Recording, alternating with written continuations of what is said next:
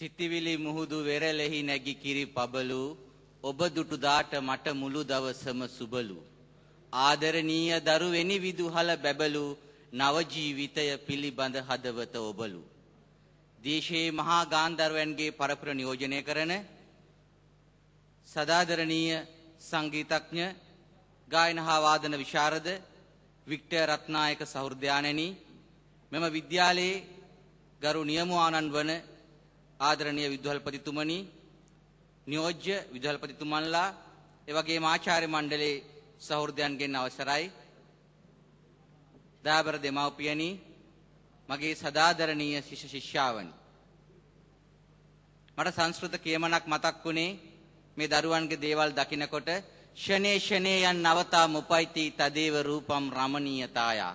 මොහොතක් මොහොතක් පාසා අලුත් බවට පැමිණේ යන යමක් වේද? එයම රමණීයත්වයේ ස්වභාවයයි. අලුත් අලුත් විදිහට දෙයක් කියන්න පුළුවන් වෙන්නේ සාහිත්‍යකරුවන්ට කලාකරුවන්ට. ඒගොල්ලෝ තමන්ගේ සාහිත්‍යය තුළ ලෝකය තමන් වෙත බඳවා ගන්නවා. ජීවිතයේ දුකට සාහිත්‍යයෙන් මුහුණ දෙනවා. සතුටට මුහුණ දෙනවා. තමන්ගේ හිතේ විකසිත වෙච්ච ප්‍රේමය වචන වලට ප්‍රකාශ කරනවා. මට මතකයි රත්නශ්‍රී විජේසිංහ සහෘදයාගෙන් දවසක් ඇහුවාම දැන් අපෙන් කවුරු හරි ඇහුවොත් ලෝකේ ලස්සනම තැන කොතනද? ලස්සනම අහස කොතනද කියලා කෙනෙක් කියාවි මුහුදු වෙරළ ළඟ හවසක දකින අහස. තව කෙනෙක් කියාවි සමනල කන්ද පාමුල වැටෙන ඉරේලිය ඒ හවස් යාමේ තියෙන ලස්සන අහස. රත්නශ්‍රී දෙන උත්තරේ තමයි මගේ අම්මා නිදන සොහනට උඩින් තියෙන අහස තමයි මට ලෝකේ තියෙන ලස්සනම අහස. බොහෝ දෙනා වට කරලා රිද්දවද්දි හිත රිදවද්දි ඔහුට මතක් වෙනවා අම්මව.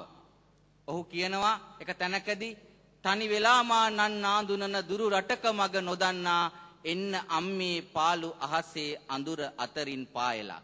මේක තමයි සාහිත්‍ය අරුමේ. අපි කෙනෙක් අපි ආදරය කරපු කෙනෙක් මිය ගියාම අපි දුක් අපි හිතෙන් දුක් විඳිනවා ඇහෙන් කඳුළු හෙලනවා ඇලෙක්සැන්ඩර් ඩූමා කියන සාහිත්‍යකරුවා කියනවා අපට නැතිවන හිත මිතුරන් නිදන්නේ පොලෝ පතුලේ නොවේ අපේ හද පතුලේයි. ගුරුවරයෙකුට තමන්ගේ දරුවෙක් තමන්ගේ ශිෂ්‍ය ශිෂ්‍යාවන්ගේ මරණය කියන්නේ මහා සෝචනීය අත්දැකීමක්. ඒ වගේම සහෝදර ශිෂ්‍යයන්ටත් එහෙමයි. ඔබට සමීපව තියෙන මේ කොළඹ විශ්වවිද්‍යාලයේ මෙයින් අවුරුදු 15කට විතර ඉස්සෙල්ලා ධර්මලතා පතිරාජ කියන ශිෂ්‍යාව කුලියාපිටිය කිතලව ගම්මානේ පාර පනින්න ගිහිල්ලා පෞද්ගලික බස් රටත් ලංගම බස් රටත් අතර ඇතිවෙච්ච තරඟයේ ප්‍රතිඵලයක් හැටියට ඒ මහා මාර්ගයේ මැදදිම මිය ගියා. මේ රාජකීය විද්‍යාලයේ ඉන්නවා නම් වසර 20ක විතර 15ක 20ක අතීතයේ මේ හිටපු අයට මතක ඇති. ඒ දරුවාගේ ඒ දියණියගේ මරණයෙන් අනිත් අයගේ ඇසට කඳුලක් නැන්නුවා. ඒක ඒ වෙලාවේ ඒ අය Tamanගේ හැඟීම තමා අවට ලෝකය මිය යද්දී තමා අවට අය වේදනාවෙන් හඬද්දී ගණන් ගන්න නැතුව ඉන්නවනම් ඒක මහා සෝචනීය දෙයක්. නමුත් මේ දරුවෝ මට මතකයි ලියලා තිබුණා කඳුළු සලමින් ඇඟිලි ගැන්නෙමු මිදෙන්නට සරසවි බිමෙන් කඳුළු අතරින් සිනාසුන යුරු සිතට මතකයි අද වගේ. බිමෙන් සරසවි මිදෙන මොහොතේ ජීවිතෙන් නුඹ සමු අරන් ඇයිද ධර්මා හැඬ වූයේ අප යලිදු හිනහෙනු බැරි ලෙසින්. ඒ වගේම බලපිටියේ රේවත විද්‍යාලයේ ශිෂ්‍යයන් කීප දෙනෙක්ම දුම්රිය අනතුරකින් මිය ගියා. ඒ දුම්රිය අනතුර වෙලාවේ මෙතන ඉන්න ආචාර්ය මණ්ඩලයේ ගුරු බවත් ගුරු අම්මලා ගුරු තාත්තලා ඒ මියගිය වෙලාවේ ඔබට මතක ඇති ඔබ දන්නවා ඔබේ ශිෂ්‍යයන්ගේ පොත්වල ඔබ හරි වැරදි ලකුණු කරන් රතු පාට පෑනකින් මේ විනීතා අබේවික්‍රම කිවිඳිය ඒ රේවත විද්‍යාලේ ගුරුතුමිය පාරට බහිනකොට දකින්නේ තනින් තන මිය ගිහිල්ලා ඉන්න තමන්ගේ ශිෂ්‍යයන්ගේ සිරුරු ප්‍රාර්ථනාවකින්. රාජකීය විද්‍යාලය කියන්නේ මේ දේශයට බොහෝ දේවල් දුන්න පාසලක්.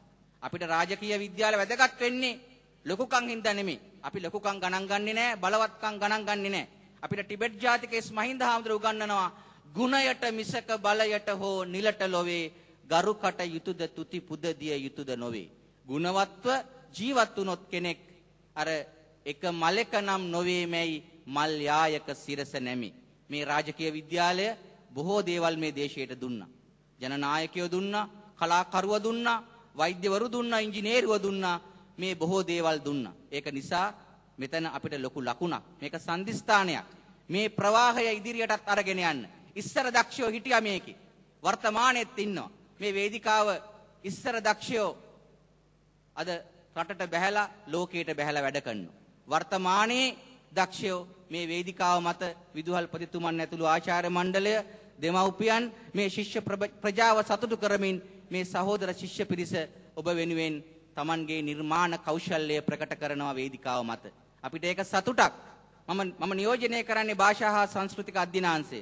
මගේ අධ්‍යනාංශයේ තියෙන්නේ සංස්කෘත, හින්දි, ප්‍රංශ සහ සංගීතය සහ නර්තනය කියන විෂයන්.